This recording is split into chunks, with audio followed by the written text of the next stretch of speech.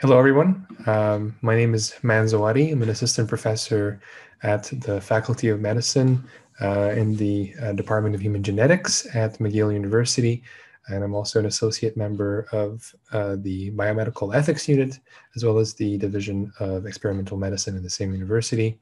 Uh, it's a great pleasure uh, to be able to talk to you a little bit about justice, digital health, and the distances uh, that have been um, you know, appearing over the past uh, little while. So to answer the first question around um, the distances that we see in justice and digital health, and you know how are new distances appearing? Well, you know, digital health is is having a significant impact on the practice of medicine, uh, but it's largely unregulated. So consumer digital technologies, including smartphone applications, uh, are playing an important role in making healthcare more effective, efficient, and accessible. But the problem we have is that the absence of regulation in Canada and elsewhere threatens to diminish this promise. Uh, the primary distance uh, that I can say that has appeared in this space is that between digital health's potential and the availability of regulation and guidance that structures its use and assures its safety in the Canadian context.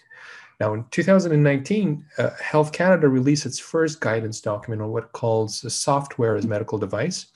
Uh, this guidance came into effect in December 2019 and provides a number of different stakeholders, actually clinicians, researchers, and technology developers, with some guidance on Health Canada's administrative approach to digital health. Um, and that includes smartphone applications uh, for health.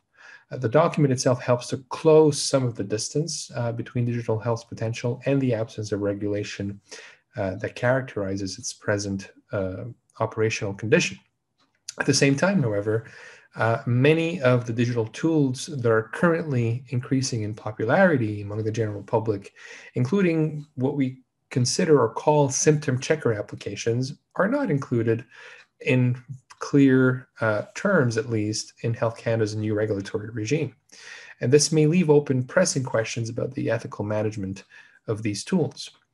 Um, now, we are in a pandemic, and that has been ongoing now for many months. With the emergence of COVID 19, uh, a pandemic across the world, and especially uh, in in you know the different jurisdictions, the landscape uh, that surrounds digital health has shifted dramatically an abundance of uh, new applications. I mean, really great wealth of applications and systems uh, have been developed in recent months to assist public health agencies in their efforts to control COVID 19.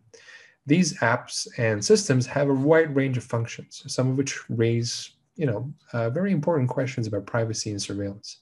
In some jurisdictions, smartphone apps are being used to monitor individual movements, uh, to ensure compliance uh, with public health rules or to deny access to public spaces to people determined uh, to be at higher risk of infection. Now, of course, this is not in all jurisdictions, um, you know, but uh, but you know, even there, there are some highly invasive measures that are put in place, and these really underscore the importance of a regulatory framework that is capable of earning and maintaining uh, the public's confidence and trust.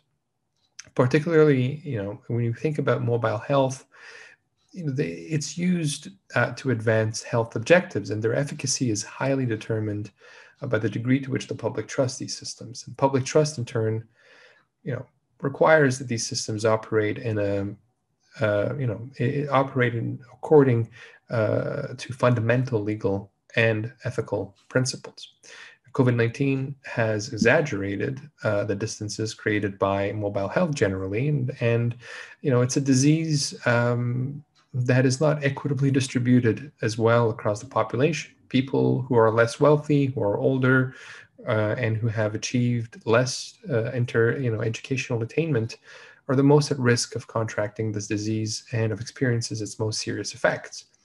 These are the same groups who are most likely to face barriers in accessing mobile health and who are most likely to distrust digital health uh, interventions from government agencies or health officials. Uh, COVID 19 makes really the distances here in mobile health more pronounced.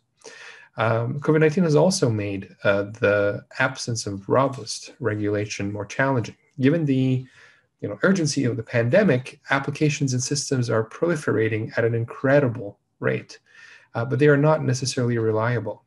Uh, in the absence of regulation and guidance, uh, these may cause, uh, unfortunately, increased levels of unmitigated harm. Now, if we think about the potential consequences from a social legal uh, perspective and, and, and those that would come to the fore, well, there, there's a few of them. Um, I would say the first one um, is increased inequality. So there is a risk that unregulated digital health companies and, and technologies may perpetuate existing inequalities in healthcare by providing care only to the most technologically literate or to those who can afford the devices on which these digital systems are run. Another uh, consequence is the ineffective or dangerous uh, level of care. So, in a largely unregulated landscape, it is possible that ineffective or dangerous digital health solutions will proliferate. Recent scholarship on, on the accuracy of mobile health applications are found, you know, have found that popular symptom checker applications pose significant accuracy challenges, uh, with the correct diagnosis not appearing on lists of possible conditions more than 40% of the time. And let's not forget, these symptom checker applications are not supposed to be providing any diagnosis. Uh, but even though they say they are not, uh, most of the times they are in practice. There are also uh, concerns uh, you know, related to privacy violations. So the absence of regulation, digital health systems are likely to have highly variable privacy and consent practices. You know, some of them actually don't even have privacy policies. And this may have serious consequences for the users of these systems, uh, potentially subjecting them to privacy harm and discrimination on the basis of sensitive health information. And finally, shifts in uh, healthcare professions and our relationship to them is one of the consequences of these uh, of these new distances. Uh, you know, if, if, you look at mobile health, you know, technologies more specifically, uh, you know, potentially they will make access to healthcare far more accessible, but they also disrupt the normal course, course of the uh, physician-patient relationship. Now, um, what are the consequences on the stakeholders or the actors uh, implicated um, or the institutions implicated? Uh, well, there's a few of that as well you know, healthcare systems and clinicians might become increasingly burdened by individuals and clinicians who are unsure of the relationship to digital health. Individuals will be unsure whether digital health technologies are reliable and accurate, which may reduce their willingness to use them. Uh, digital health firms and developers will operate in an uncertain regulatory environment. And then regulators here may face a particularly difficult situation if digital health develops for an especially long period of time in the absence of oversight and governments and public health agencies may face an erosion of public confidence, leading the public to ignore public health measures and advice. Is there a way, so another question here in the, the how, is there a way to counter these changes? And if so, how, or if not, how do we adapt ourselves? Uh, well, the, the distances generated by digital health can be addressed by clear, holistic you know, regulation, but a multilateral one. Uh, that involves, of course, Health Canada, and they've worked on that. But that's you know one part of the equation. Um, you know, so so you, you need ad- additional bioethics work on the pressing questions surrounding mobile health, uh, and this will help to inform regulators and clinicians. You can think of consumer protection, for example, and having uh, a, a you know a role to play in all of that. But you have to also think about professional societies uh, that self regulate the health professions, and they will likely have an important role to play in informing their members of the legal and ethical considerations to which they should be attentive when engaging with mobile health technologies. And finally, this is sometimes an area that we tend to forget.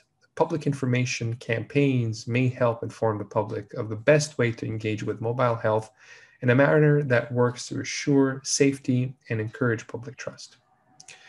And finally, if there are references um, that could be um, looked at or reviewed with regard to this question, of course, you know, they, they, they come in manuscripts, they come in articles, they come in policies. I mean, one policy that I would strongly suggest uh, the viewers to, to take a look at is, of course, the Health Canada software as medical devices uh, guidance document from 2019. I think it will provide a very interesting approach.